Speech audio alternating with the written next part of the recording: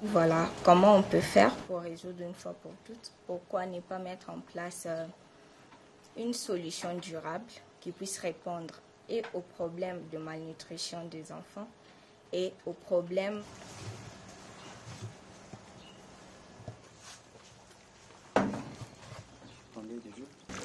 Ce sont les larves des six semaines. Facile pour tout le monde d'avoir accès euh, produits carnés, à la viande.